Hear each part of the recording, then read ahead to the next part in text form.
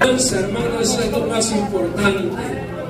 Óigalo bien, iglesia, pueblo del Señor. Un día, hermano, se va a acabar la fe. Yo le estaba diciendo a la iglesia, un día se va a acabar la fe, ya no la va a necesitar la fe. Un día ya no va a necesitar la santidad aquí en la tierra. Se va a acabar. Un día, hermano, se va a acabar todo lo que, lo, que necesitamos nosotros como iglesia. Pero sabe una cosa, lo que no se va a acabar nunca es la alabanza a nuestro Dios. Porque dice la Biblia que vamos a estar día y noche adorando a nuestro Dios allá en el cielo. Así que aquí no nos podemos cansar de alabar al Señor, de bendecir la presencia del Señor. Hermano, cuando nosotros nos disponemos a venir a la casa del Señor, nos disponemos y tenemos que traer en mente que vamos a adorar al Señor. Vamos a bendecir la presencia del Señor. No vamos a, venir a ver quién vino mejor vestido, a ver quién vino con mejor traje, a ver quién vino con mejores zapatos. No, hermano, venimos a bendecir la presencia del Señor. Venimos a adorar al Señor porque esta continuo, de continuo, un día que estemos en la presencia de nuestro Dios. Bendito nuestro Dios. Dice la Biblia que cuando Jehová está en su santo templo, calle de él toda la tierra. En otras palabras, está diciendo que solamente salga alabanza de nuestro Dios. Si usted quiere platicar allá afuera, cuando termine la confraternidad, para eso son las confraternidades, para conocernos con los hermanos. Hermanos, Dios le bendiga. En esta tarde solamente vamos y venimos a adorar al Señor. Gloria al Señor. Qué linda palabra, hermano, que, que, que el Señor eh, me daba para leer y, empezar este mensaje en esta tarde. Sabemos que es una confraternidad de jóvenes. Y, yo, hermano, al mirar ahorita, eh, antes de que nuestra hermana Abby eh, dijera de que había muchos jóvenes, yo, estaba mirando y, miraba tanta juventud. Y cuando nuestra hermana Abby decía que había una inmensa eh, cantidad de jóvenes y es cierto, gloria al Señor. Y Dios bendiga a cada joven. Dios bendiga grandemente a cada joven. Hay que seguir orando por esta juventud. Hay que seguir orando por cada joven que está aquí. Gloria al Señor. Y, yo me gozo, hermano, eh, eh, cuando he venido a las confraternidades de jóvenes, que hoy que, que, estoy en este ministerio, ver estos jóvenes eh, que se esfuerzan para adorar al Señor. Hermano, que se entregan para adorar al Señor. Hermano, eh, estos jóvenes son un ejemplo para nosotros, los adultos, gloria al Señor. Nosotros tenemos que mirar cómo ellos, hermano, adoran al Señor. Bendito es nuestro Dios. Yo no sé, yo, a lo mejor soy el único que yo he visto estos jóvenes cómo adoran al Señor. Gloria al Señor. Y yo creo que ellos han entendido a qué vienen a este lugar. A qué han venido a la casa del Señor. Bendito nuestro Dios. Dios bendiga, hermanos, a, toda esta juventud tan preciosa, tan hermosa. Gloria al Señor. Una juventud hermosa, hermanos. Gloria al Señor. Yo le digo, dice la Biblia, que bueno es al hombre llevar el yugo de su juventud. Gloria al Señor. Me gozo cuando yo miro a estos jovencitos, hermano, a adorar al Señor. Están llevando su yugo desde su, juventud. Gloria al Señor. Y yo, y le digo por experiencia, hermano, el Señor me alcanzó cuando yo tenía 18 años. Faltaban una semana para cumplir los 18 años. Ya tengo 51 años. Y aquí estamos. Adorando al Señor. Gloria al Señor. Qué lindo, hermano, es, servir al Señor, joven. Qué precioso es servir al Señor, hermano, en la juventud. En la mediana edad, hermano, y vamos para allá, más viejitos, gloria al Señor. Y yo me sigo gozando. Pero qué triste es cuando oímos personas. Cuando yo era joven me gozaba. Yo estaba ahí en la puerta y recibía a los hermanos. No, hermano, tenemos que seguir con el mismo gozo porque estamos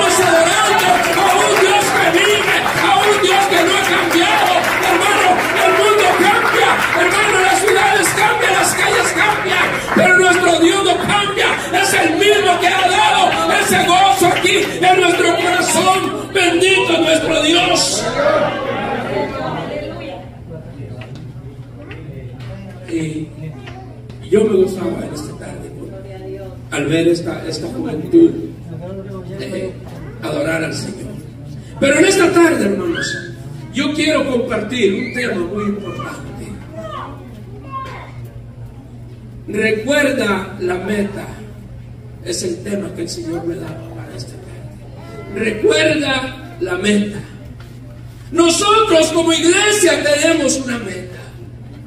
Como joven usted tiene una meta. Como pastor usted tiene una meta. Como servidor de nuestro Dios tenemos una meta. Pero a veces a muchas personas se les ha olvidado la meta.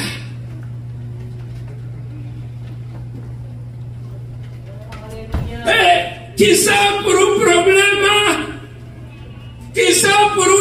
necesidad, esa meta se le ha olvidado. Cuando mucha gente viene a este país, me incluyo yo, hacemos muchas metas. Señor, cuando llegue allá te voy a servir. Si tú me llevas y me cruzas por ese río, te voy a servir. Y ahí está toda esa gente allá, anda allá, afuera, no quiere. Parece que Dios no les ha ayudado. Parece que Dios no, les ayudó a cruzar ese desierto. Pero damos gloria y honra a nuestro Dios que estamos en esta tarde,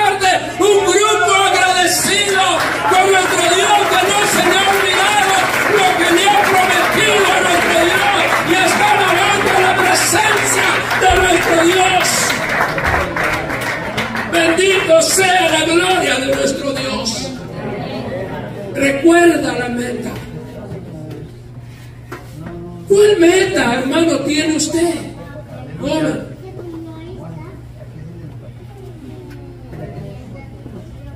No conteste.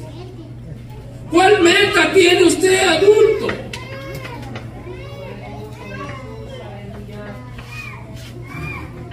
A veces nos hacemos metas eh, eh, sirviendo a nuestro Dios dentro del camino del Señor. Y somos inconstantes en nuestros caminos. Cambiamos esa meta por otra. No se ha dado cuenta que a veces dice, no, que iba a estudiar doctor y terminó siendo eh, arquitecto, ingeniero, iba a ser ingeniero y, y, agarró otra carrera porque es inconstante, no sabía. Hay gente inmadura también. Cuando no se le olvida la meta. Hablando de lo secular. Pero dentro del cristianismo, dentro del camino del Señor, como iglesia, como pueblo del Señor, como joven, como adulto, como adolescente, tenemos, hermano, que tener una meta. Y, yo mirando, hermano, esta escritura, eh, eh, analizando eh, la vida de este joven, porque era un joven, José. Y en toda esta escritura que leímos, se menciona que él era temeroso de nuestro Dios. Y que Dios estaba con él. Y que Dios estaba con él como está contigo, joven. Tú no estás solo, tú no estás solo, joven. Tú no estás solo, joven. Adulto, tú no estás solo. Tú no estás solo, gloria al Señor. dile, dile que está a tu lado, tú no estás solo. Dile, dile, tú no estás solo. Gloria al Señor. Hermano José eh, estaba solo, no tenía sus padres, no tenía su madre, estaba hermano eh, hablando familiarmente solo. Pero el mero mero estaba con él. Aleluya. Hermano, mire, yo me gozo con los jóvenes.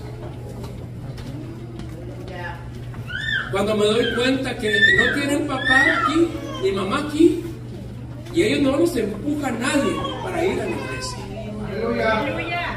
Ellos iban para la iglesia, pastor, ya estoy listo, porque hay unos jóvenes de no manera. Pastor, ya estoy listo, venga por mí.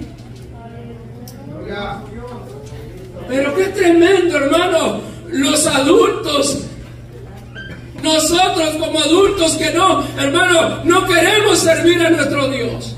Hermano, José estaba de la misma manera. No tenía nadie. Pero, eh, ¿qué dice la Biblia? Él tenía que temor Hermano, me imagino yo que José tenía metas en su vida. Desde el momento que Dios le estaba dando sueños, desde el momento que Dios le revelaba sueños, hermano, él se estaba forjando metas en su vida. La Biblia no dice, pero desde el momento que él dice la escritura, que él temía a Jehová y Dios estaba con él. Este joven era un joven de metas. ¿Y sabe cuál es la meta más importante del hombre, eh, del ser humano? Es que sirva a Dios, que tema a Dios, que busque a Dios. Dice la escritura, busca primeramente el reino de Dios y su justicia y todo va a venir por añadidura. Gloria al Señor. Así que no te tienes que preocupar por nada, joven. Preocupar por nada, joven. Todo va a llegar a su tiempo. Recuerda la meta. Las victorias, hermano. Mire, un deportista, uno que corre, tiene una meta, a dónde llegar.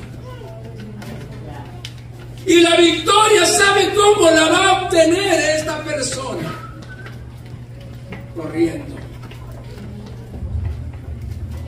La victoria se obtiene corriendo, joven, adulto. Aquí podemos ver un pasaje bien importante, un, versículo eh, de la Biblia en el que leímos y dice, y ella lo asió de su ropa y diciendo, duerme conmigo, entonces él dejó su ropa en las manos de ella y huyó y salió. Ahí desde ese momento él obtuvo la victoria. Corrió corrió al pecado, no quiso, hermano, ser blanco de Satanás. ¿Sabe una cosa? Una persona estática es blanco. Estoy hablando del cristiano. Un cristiano estático es blanco del enemigo. Tienes que correr para poder ser victorioso. Se te presenta el pecado, corre. Uh. Se te presenta el diablo, el minifalda, corre, joven. Uh. Se te presenta el joven, señorita, por ahí, corre. Uh. Y vas a obtener la victoria. Un corredor cuando está, hermano, practicando o está eh, compitiendo, si no corre no obtiene la victoria. Tiene que correr para obtener esa victoria. Joven, tienes que correr para obtener la victoria. Tienes que correr adulto para obtener la victoria. Es que ya, ya mis pies ya no me dan, ya no puedo correr. Estoy hablando espiritualmente. Tienes que correr para dónde? Para la casa de Jehová. ¡Uh! Para el refugio eterno. Bendito nuestro Dios. La Biblia dice, yo me alegré con los que me lo a la casa de Jehová iremos. ¡Uh! Tienes que correr, joven, a la casa del Señor para poder tener la victoria. ¿Sabe una cosa, hermanos? Años,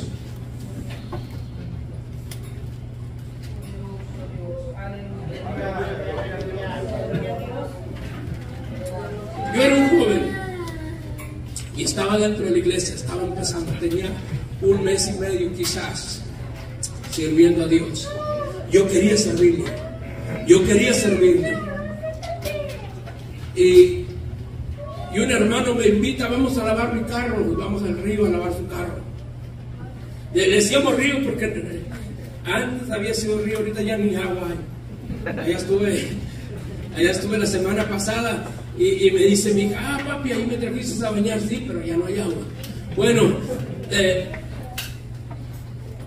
ahí fuimos a lavar el carro, ahí lo estábamos medio lavando. Y, yo ya estaba, tenía como un mes sin Señor. Mes y medio. Y, este amigo, pasan otros amigos y, le ofrecen cerveza. Y van y compran más y estaban lavando el carro. Y yo me dio sed, era como en ese tiempo. Y me dio sed. Y me dice, pues tómale la cerveza, nadie te ve. Lo que es el diablo tremendo. Yo lo reprendo. Y, y estuve a punto, pero no. Le dije a mi amigo, llévame a mi casa. No, hombre, vente, aquí andamos juntos. Le dije, no, ya, ya, quiero irme a mi casa. Y me llevó a la casa. Dije, nunca más yo le vuelvo a hablar. Nunca más me voy a juntar con él. Y sabe una cosa, me fui y me bañé a la casa. Me cambié. ¿Y sabe dónde fui? A la iglesia. Fui corriendo a la iglesia, ahí estaba un grupo de jóvenes. Estaban cuatro jóvenes y les platiqué. ¿Sabe qué hicieron estos jóvenes conmigo? Me hincaron en el altar y empezaron a orar por mí. Y ese joven que le dije que ya no le iba a volver a hablar, ahí está sentado, está hermano Juan.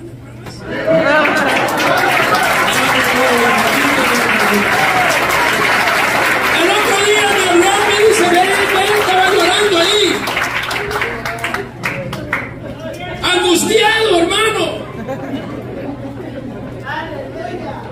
Me dice, llévame a la iglesia, quiero ir contigo a la iglesia. Entonces, si es así, vámonos a la iglesia. Hermano, y cuando estábamos orando en la iglesia, ¿sabe una cosa? Había un derramamiento al Espíritu Santo. Hermano, este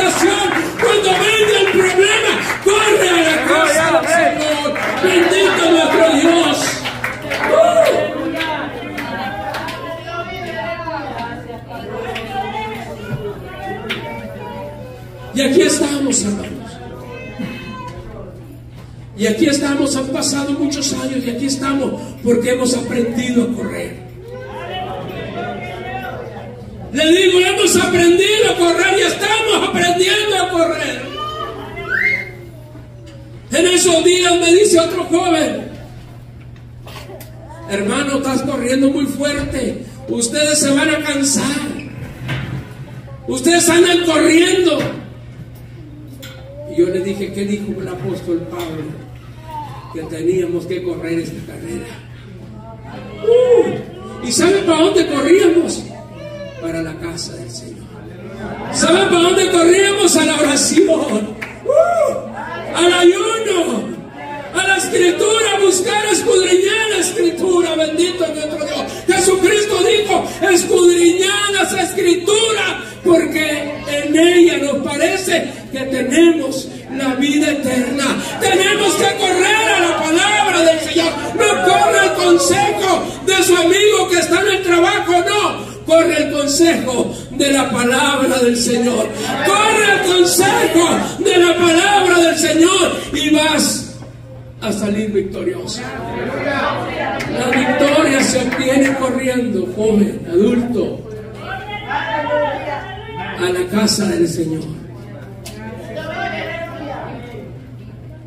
El salmo que recitaron, el último versículo que dijeron, y en la casa de Jehová moraré por chiquitos días o por poquito tiempo.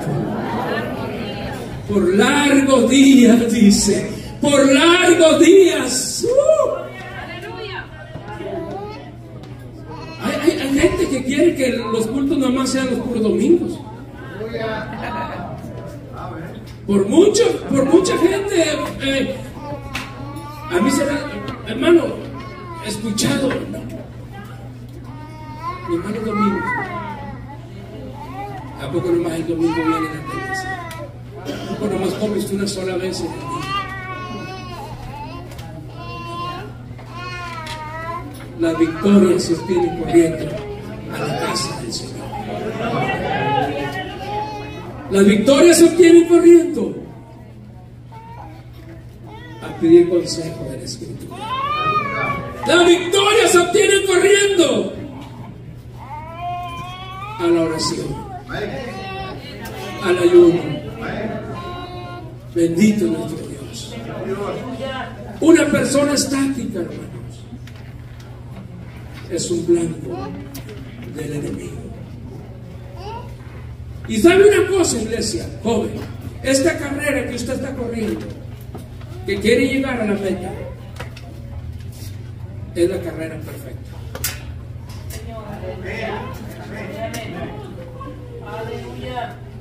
El escritor de los Hebreos nos habla en el capítulo 2, a versículo 1, nos habla y nos dice que la tenemos que correr con paciencia. Dice que nos tenemos que despojar de todo lo que nos asedia.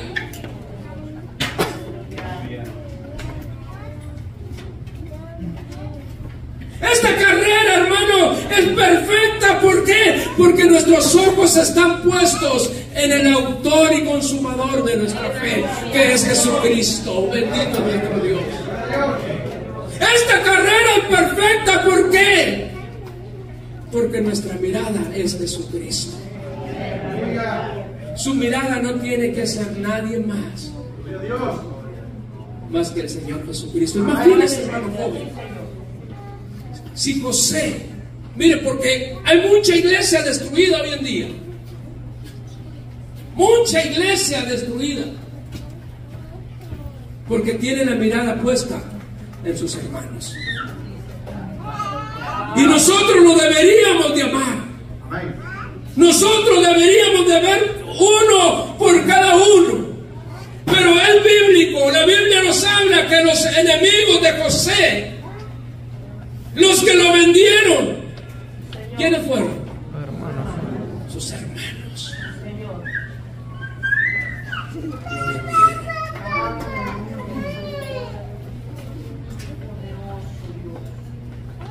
Nosotros no tenemos que quitar nuestra mirada del autor de Jesús. Tenemos Él es el que no quiere que tú Pero esta carrera es perfecta porque tenemos nuestra mirada en Jesucristo. Pero antes de, de ese versículo del 2, de Hebreos 12, 1 y 2, el 1 dice que tenemos que correr con paciencia esta carrera. Bendito nuestro Dios. Se puede correr esta carrera. Sí se puede. Sí se puede. Hay un canto que, que canta nuestro hermano Cabrera, dice que sí se puede. Yo se lo escuché una vez. Sí se puede. Y no va a ser por nuestras fuerzas. No va a ser, hermano, con, con nuestras, eh, eh, con nuestro yo, sino va a ser con la ayuda de nuestro Dios y poniendo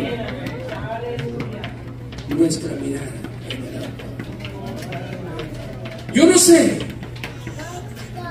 si a usted se le ha olvidado por qué está sirviendo a nuestro Dios. ¿Cuál es el propósito de usted de servirle a nuestro Dios? Y si usted, joven, que está en esta tarde, quiera decirle al Señor, nuestra hermana decía, nuestra hermana Abby, decía que ha- había mucho talento en nuestros jóvenes. Y yo quisiera invitar a la juventud y que los pastores oraran por ellos. En esta tarde.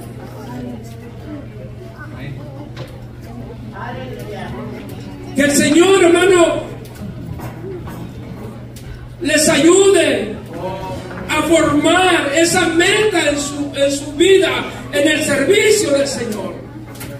Yo sé que en lo secular hay muchas metas y, y, eso, hermano, lo felicito el que, eh, el que quiere ir a la escuela, a la universidad, hermano. Eh, lo mejor que puede hacer, pero lo más que puede hacer es hacer metas en el Señor. El Señor lo va a llevar de triunfo en triunfo. Hermano, gloria al Señor. La Biblia dice, joven, busca primeramente el reino de Dios y su justicia y todas las cosas van a ser añadidas, gloria al Señor. Usted pídele al Señor en este día y lo que usted necesite para su diario vivir, el Señor se lo va a dar, bendito es nuestro Dios. Vamos a, a pedirle a nuestros hermanos que, que pasen, gloria al Señor, a ministrar a estos jóvenes, mientras nuestros hermanos nos cantan una alabanza, gloria al Señor. Aleluya, bendito nuestro Dios.